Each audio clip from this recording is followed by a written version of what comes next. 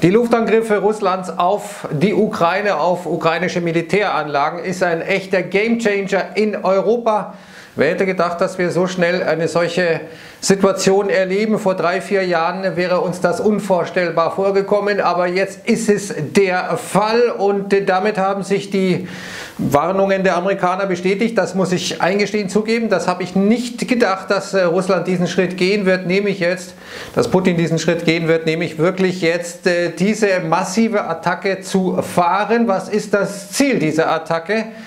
Dazu hat sich Herr Putin heute in einer Fernsehansprache geäußert und hat gesagt, ja, also wir wollen diese äh, Angriffe auf Luhansk, auf Donetsk, also diese Donbass-Regionen, die Russland ja anerkannt hat, jetzt, das wollen wir stoppen. Wir wollen äh, sozusagen diejenigen, die hier äh, für diese Attacken sind äh, verantwortlich machen. Dafür, äh, darunter viele Nazis, hat er das wörtlich gesagt. Und da hat er natürlich einen Punkt, der im Westen kaum erwähnt wird. Es sind gerade an ähm, der Front, wenn man so will, im Donbass sind viele ukrainische Ultranationalisten, aber das rechtfertigt natürlich nicht und kann natürlich nicht rechtfertigen, was da passiert.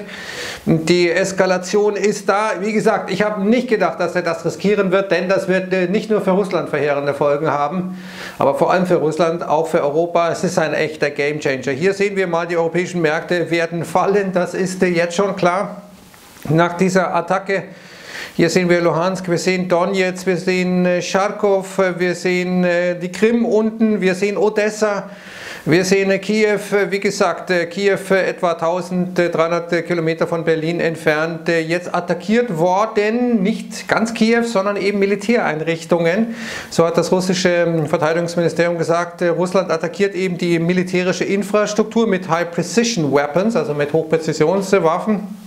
Was man versucht ist also, die militärische Infrastruktur der Ukraine auszuschalten. Warum tut man das? Tut man das, um wirklich, wie Putin sagt, eben weitere Angriffe auf äh, den Donbass, auf diese Volksrepubliken im Donbass, die Russland anerkannt hat, jetzt zu stoppen? Oder ist das der Auftakt für den wirklichen Einmarsch in die Ukraine? Das werden wir bald sehen. Hier sehen wir mal die Militärschläge aus der Luft, die Russland ausgeführt hat, wirklich sehr breitflächig. Und wir sehen auf der anderen Seite hier etwa vom Präsidentenpalast in Kiew. Das rückt also schon sehr, sehr bedrohlich nahe.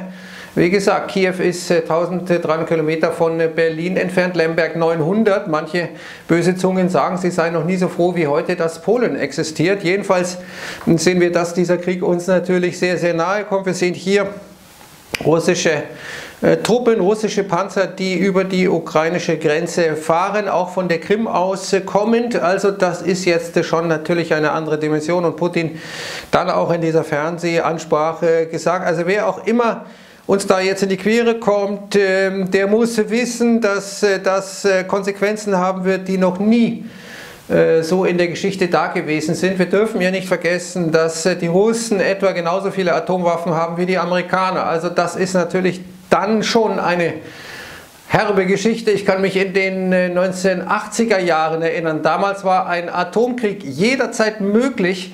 Äh, da lebte man irgendwie in diesem Gefühl, also es kann jederzeit äh, losgehen, das ist jederzeit eine Option. Tschernobyl, dann noch diese apokalyptische äh, Situation, die wir damals mental gefühlt haben. Man durfte als Kind nicht rausgehen oder als Jugendlicher sollte man möglichst zu Hause bleiben. All diese Dinge sind weitgehend vergessen.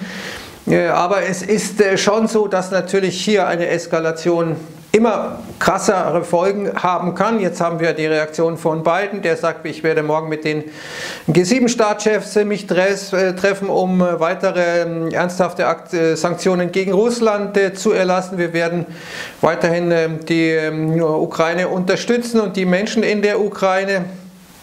Ähnlich Ursula von der Leyen strenge Verurteilung Russlands ähm, und äh, dann sozusagen ein feuchter Händedruck. Äh, ciao, macht's gut, wir wünschen euch das Beste, könnte man sagen. Die EU will jetzt offenkundig russischen Banken die Zugänge zu den Finanzmärkten in Europa sperren, aber eines ist wohl das, was äh, jetzt die Antwort ist, die logische Antwort ist jetzt eben die nukleare Option sozusagen vor der nuklearen Option und das wäre Russland aus dem SWIFT-System auszuschließen, denn das ist jetzt dieser Schritt, der wirklich zu weit gegangen ist mit dem Donbass. Das kann man vielleicht in irgendeiner Form wenn überhaupt noch nachvollziehen. Aber das, was jetzt Putin macht, ist äh, einfach äh, diese rote Linie zu überschreiten. Und wenn der Westen glaubwürdig bleiben will, dann muss er jetzt irgendwie was auspacken, was richtig wehtut den Russen, was natürlich auch uns wehtun wird. Was wird passieren etwa, wenn man russische Banken vom äh, SWIFT-System ausschließt?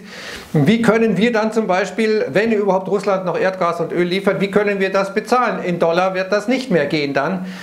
Äh, das sind alles offene Fragen. Jedenfalls ähm, der russische Außenminister hier sagt, äh, also SWIFT äh, muss kommen, verheerende Sanktionen gegen Russland müssen kommen. Wir müssen Russland äh, extrem isolieren. Wir brauchen Waffen, wir brauchen Finanzhilfe, wir brauchen humanitäre Hilfe und all das jetzt in einer Situation, wo 84 Prozent der Amerikaner nicht mal wissen, wo die Ukraine ist. Das deutet schon an, wie ähm, hoch wahrscheinlich die Amerikaner bereit sind, selber zu leiden unter dieser Geschichte für ein Land, von dem nur 16 Prozent wissen, wo es ungefähr liegt. Äh, das sagte schon alles. Und einer der Herrschaften, die wohl unter diese 84 Prozent fallen, ist Sir Donald, der allerdings vielleicht gar nicht so Unrecht hat, als er hier heute jetzt gesagt hat, also äh, unter meiner Administration wäre das nicht passiert. Klar, äh, unter der Administration von Trump passiert nur Gutes, das wissen wir ja. Es äh, hat wirklich angefangen mit der Weakness in Afghanistan, also mit, dieser, mit diesem Abzug aus Afghanistan, der nicht wirklich glorreich war, wie man ja sagen muss. Da so ähm, sagte Trump, hat Putin gedacht, okay, das kann ich jetzt tun. Die Amerikaner sind schwach, vielleicht hat er da wirklich einen Punkt. Interessant ist jetzt, wie verhält sich eigentlich China? Was sagt China? Und China sagt ja, also im Gegensatz zu dem, was andere ausländische Medien sagen, handelt es sich ja hierbei nicht um eine Invasion. Nachtigall, ich höre dir trapsen, das ist ja praktisch, äh, man kann nicht sagen eine Legitimierung, aber es heißt ja, Leute, das ist doch keine Invasion. Das ist äh, eben äh, eine andere Geschichte. Das zeigt, dass natürlich Russland sich ähm, versichert hat, dass Putin sich bei Xi Jinping versichert hat, dass er diesen Schritt gehen kann, dass Peking hier keinen Stress macht. Wäre Peking, hätte Peking gesagt, nee, ist nicht, lass das, sonst äh, werden wir auch garstig, dann hätte Putin diesen Schritt nicht unternommen, denn dann hätte er nicht nur den Westen als Feind, sondern eben auch ähm, Probleme mit China und das wäre an zwei Fronten ein bisschen zu viel. Wir sehen hier übrigens China, russische Importe und russische Exporte, sehen wir hier grün in Dollar. Ähm, hier blau in Euro. Und ähm, andere Währungen. Und wir sehen, dass äh, hier der Anteil von Dollars immer weiter zurückgegangen ist, gerade bei den Importen Russlands, bei den Exporten ist er zuletzt wieder ein bisschen gestiegen, aber tendenziell rückläufig, während äh, zum Beispiel gerade bei den Exporten der Euro immer stärker genutzt wird. Äh, oben ist dann äh, wahrscheinlich der Yuan, das wird hier unter Other qualifiziert, also unter anderen Währungen, aber das ist äh, praktisch der Yuan. Wir sehen also, dass äh, hier im russischen Rubel hat kaum eine Rolle gespielt, by the way. Und wir sehen also, dass äh, Russland schon lange versuchte, vom Dollar wegzukommen. Das geht nur mit Billigung auch der Chinesen dann in Yuan in etwa. Jedenfalls sehen wir, dass der russische Rubel jetzt auf ein Rekordtief zum Dollar gefallen ist, dass äh, Moskau jetzt erstmal den Handel ausgesetzt hat, soll später wieder aufgenommen werden. Und ein interessanter Bericht der New York Times, Russia could use cryptocurrency to blunt the force of US sanctions. Also, dass man mit äh, Kryptowährungen im Prinzip äh, oder mit Kryptos eben diese Sanktionen umgehen kann. Das wiederum, wenn dem so wäre, dürfte das natürlich von den Regulatoren im Westen den Gegenwind gegen Kryptos äh, deutlich verstärken. Jetzt, was wird das bedeuten? Äh, welche Konsequenzen sind hier zu erwarten? Hier mal eine Einschätzung von Goldman Sachs. Die Kombination zwischen Upside Inflation Risk, also das alles wird ja sozusagen ziemlich logisch dazu führen, wir sehen das schon am Ölpreis, dazu gleich mehr, dass die Inflation weiter steigt. Downside Risk to Growth, also praktisch Abwärtsrisiken für Wachstum, auch das sehr wahrscheinlich. Was wird die Fed in diesem Umfeld tun? Was werden die Notenbanken in dem Umfeld tun? Normalerweise, so heißt es ja bei Goldman Sachs, halten Notenbanken in äh, geopolitisch äh, sehr schwierigen Situationen erstmal so ein bisschen die Füße still. Das wirft interessante Perspektiven auf die Märzsitzung der Fed. Goldman Sachs sagt also 10 ein Dollar Anstieg beim Ölpreis äh, bringt die Headline Inflation um 20 Basispunkte nach oben, also 0,2 Prozent, aber das GDP Growth wird nur unter einem 0,1 Prozent, äh, Prozent beeinflusst. JP Morgan dagegen sagt, ja, Öl dürfte dann in einem militärischen Konflikt, und das ist ja jetzt der Fall, auf 150 Dollar steigen. Globale Wachstum wird crashen. Und äh, ja, das sind die Perspektiven. Mit einem Wort Stagflation, wobei äh, Stagflation ja eigentlich Inflation und Stagnation meint. Hier dürften wir nicht nur Stagnation wirtschaftlich haben, sondern wahrscheinlich auch Rückgänge, je nachdem, wie jetzt die Dinge sich äh, weiterentwickeln, wie Russland äh, etwa Energie weiterliefert. Ja, nein, wenn wir bestimmte Dinge tun, das ist eben die große Frage, die sich jetzt äh, stellen wird. Wir sehen jedenfalls an der Reaktion der Märkte, tiefrot. Alles, was nicht Rohstoffe ist, das ist im Prinzip unter Druck und wir sehen hier etwa Gold steigt. Ein deutlicher Anstieg, Bitcoin fällt, das sagt alles über den sicheren Hafen. Bitcoin ist ein Risikoasset, ein Liquiditätsasset, das natürlich jetzt in einer solchen Situation Schwierigkeiten kommt. Hier sehen wir Weizen, schießt nach oben, Lebensmittelpreise.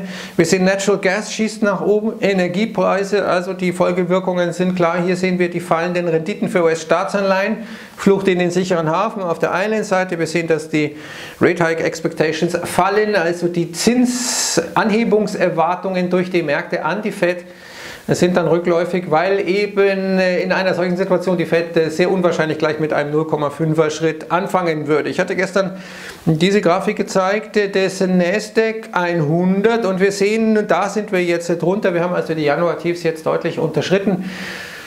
Alles ist möglich und das Gegenteil, aber so richtig schick schaut das nicht aus. Das könnte ein herbes Erwachen für die Amis geben, wenn sie dann ähm, aufstehen und ihre Portfolios durchsuchen. Da könnte es so einige Margin Calls geben. Dementsprechend kann ich mir vorstellen, dass im Umfeld oder im Vorfeld der US-Eröffnung es nochmal ziemlich heftig zur Sache gehen wird. Oder kommt dieses Muster, das ich schon mal gezeigt hatte, bei äh, Sell the Rumor by the Fact, also wenn dann eine Invasion passiert, es ist noch keine volle Invasion, soweit wir wissen. Äh, jedenfalls ähm, ist das aber natürlich wahrscheinlich das Ziel, wenn er schon die militärische Infrastruktur ausschaltet oder ausschalten will, nämlich Putin, dann ist ja das Ziel sozusagen im zweiten Gang wohl äh, die russischen Truppen dahin zu kriegen. Der Widerstand wird groß sein, wie gesagt. Es gibt Odessa im Süden, es gibt Charkow. Da sind noch nennenswert russisch sprechende, russisch fühlende Bevölkerungsschichten im ab Kiew Richtung Westen ist das überhaupt nicht der Fall. Das äh, ist dann wirklich Krieg, weil diese Leute das nicht äh, auf sich sitzen lassen werden. Aber zurück zur Frage. Wird es wieder so kommen, dass dann äh, praktisch die Invasion gekauft wird? Ich habe da so ein bisschen meine Zweifel, solange nicht klar ist, eben welche Sanktionen, wie krass die ganze Geschichte ausgehen wird. Unter anderem darüber werden wir auch sprechen. Ich habe das gestern schon erwähnt. Mit Thomas Mayer, Thema Inflation, Zentralbanken in der Krise, wohin steuert unser Geld? Da werden wir natürlich auch diese Ukraine-Situation thematisieren, auf auch Inflation. Was wird das äh, bedeuten? Heute 19 Uhr, den Link packe ich Ihnen unter das Video. Absoluter Pflichttermin, deswegen werde ich auch das Markeflüster heute etwas früher machen, weil um 19 Uhr ist ja der Boom und Bast, also versuche ich so Viertel nach sechs das Markeflüster fertig zu haben. Und wir sehen, Palladium steigt, möglicher Angebotsausfall aus Russland nicht aufzufangen. Das ist das große Thema. Wie wird es mit diesen Rohstoffen weitergehen, über die Russland äh, verfügt? Ähm, in vielen Bereichen, wie etwa Palladium, zweitgrößter Hersteller der Welt, äh, für uns unverzichtbar. Diesen Artikel werde ich Ihnen auch unter dem Video verlinken und wünsche jetzt erstmal trotz dieser nicht äh, wirklich schönen und guten Nachricht einen einigermaßen anständigen Start in diesen Tag. Wir sehen uns heute Abend zum Markeflüster und zu Boom und Bast. Ich sage Servus und ciao.